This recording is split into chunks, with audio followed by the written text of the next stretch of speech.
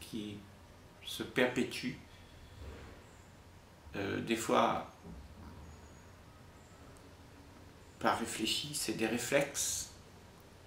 Et la vie, constamment, comme ça, elle nous mène en fait.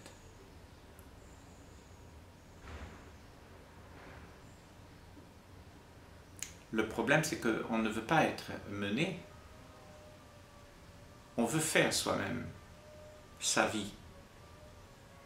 Et quand on veut faire sa vie, ben, on a un problème puisque on ne vit pas la vie. C'est la vie que l'on a fait qui nous mène. Alors comment on fait? Est-ce qu'on laisse tout derrière nous, tout ce qu'on sait, pouvoir euh, être emporté par ce que la vie allait Oui, c'est une solution. C'est une solution. Mais est-ce que c'est une solution qu'on va choisir? Est-ce que c'est nous-mêmes qui allons organiser ça? Alors si, on, si on organise ça, ben, ce sera une activité de celui qui veut. Et nous voulons tous la vie que nous voulons. Mais la vie, elle n'est pas ça. Elle n'est pas quelque chose que tu peux organiser, que tu peux arranger, que tu peux contrôler. Elle est elle est à chaque instant, à chaque instant elle est là. Et dans ces instants où elle est là, eh ben, quelque part, tu dois te taire. Et c'est peut-être ce qu'on ne sait pas faire. On pense savoir, on pense avoir la solution, on concocte, on concocte toujours des idées, des choses, comment les choses on, va les, entreprendre. Et il y a un calcul. Alors que la vie, c'est pas ça. Ça, c'est la vie que nous fabriquons. Dis-toi bien que nous, les êtres humains, on a fait le monde comme il est aujourd'hui. On a fabriqué tout ça. Parce que nous avons euh, fait l'expérience de la vie. Et nous avons trouvé comment le faire un peu mieux. Et nous avons cru bon de pouvoir euh, réitérer toutes les références qu'on a gardées, qu'on a pris. Euh, on les réitère, on fabrique la vie avec ce qu'on connaît. Mais la vie, elle est bien plus grande que ça. Tu ne peux pas comprendre comment euh, organiser la vie. Et, elle n'est pas organisable. Elle est à vivre. Elle est quelque chose qui se meut d'instant en instant et elle envahit l'atmosphère. Tu ne peux pas arranger ça. Tu dois accepter ce qui se passe. En acceptant ce qui se passe, ben tu laisses la vie être ce qu'elle est. Et en fait, ce que tu es surfe sur ce, cette énergie qui se meut. Et tu es toi-même le résultat de, de ce qui se meut en toi. Alors, pourquoi on a cette idée que on peut contrôler, on peut arranger, on peut idéaliser, on peut conceptualiser, on peut faire de la vie ce qu'on en veut? Ben, Je crois que là, on a une belle illusion c'est de l'illusion. On, se fabrique un monde, en fait. Et cela devient euh, l'ego, cela devient notre petite bulle dans laquelle on a fabriqué euh, euh, nos peurs, nos angoisses, la façon dont on vit, nos tendances. Et tout ça n'est pas la vie. Il faut qu'on abandonne tout ça pour que la vie puisse exister. Autrement, la vie, elle, elle, elle se meut. Et toi, tu restes hier. Et quand tu restes hier, ben, tu n'es pas joli à voir.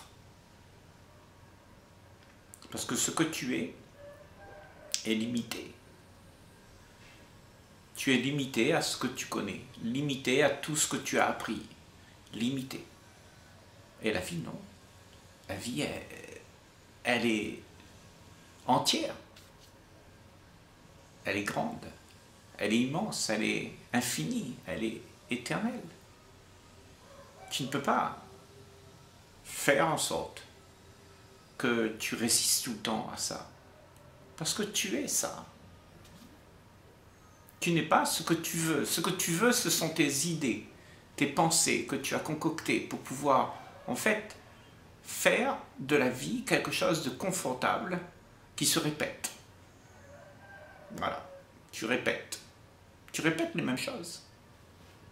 Tu ne vis pas quelque chose qui est émerveillant d'instant en instant, qui t'emporte, qui te fait, qui te rend joyeux, qui te donne beaucoup d'enthousiasme, parce que tu, es euh, tout le temps sur quelque chose d'inconnu, euh, tu marches euh, et tu vois, tu fais, tu marches avec beaucoup de précautions, tu, tu vis la vie.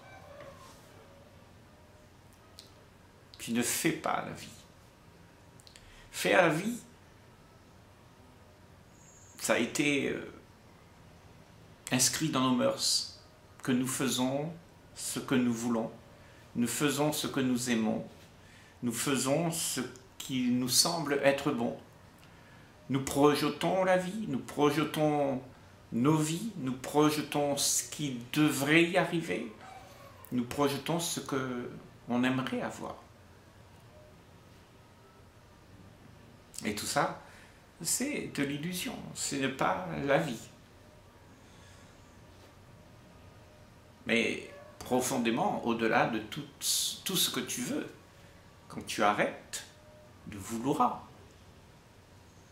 il y a la vie qui se meut. Et là, c'est un moment où l'état que tu as n'est pas limité.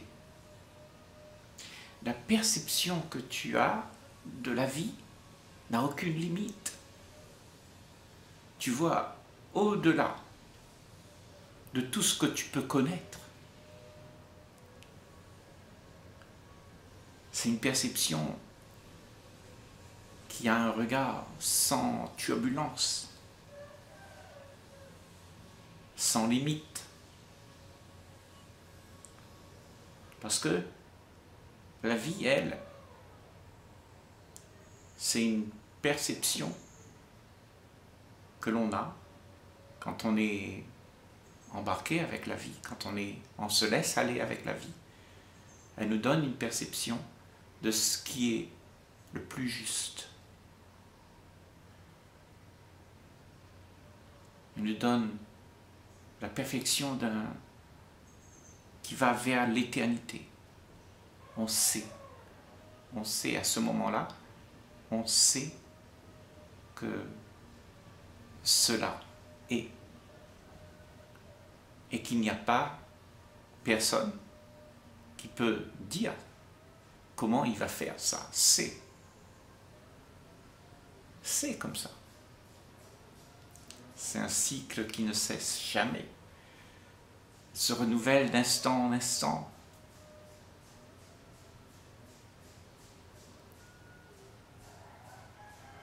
Mais au-delà du cycle, il y a une éternité. Une éternité qui n'est pas le cycle. Le cycle, les résultats de l'éternité. Et toi, tu n'es pas le cycle. Tu ne répètes rien. Tu es l'éternité. Tu es au-delà de tout ce que tu fais, au-delà de toute, action. Il y a ce que tu es.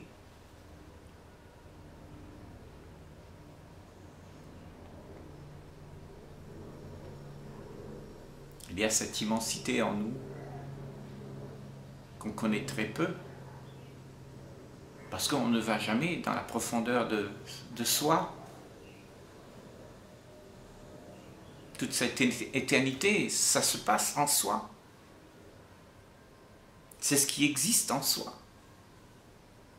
Quand tu vas dans toi, quand tu vas laisser ce que tu penses être, ce que tu voudrais être, ce que tu aimerais être, eh ben, tu trouves quelque chose qui est déjà là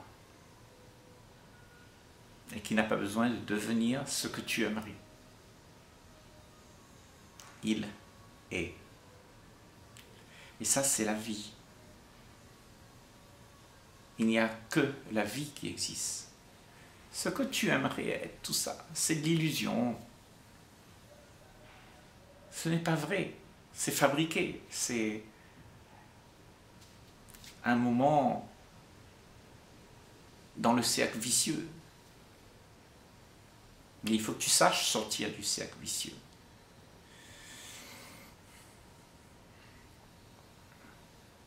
Faut sortir de ce cercle vicieux. Il faut accepter de voir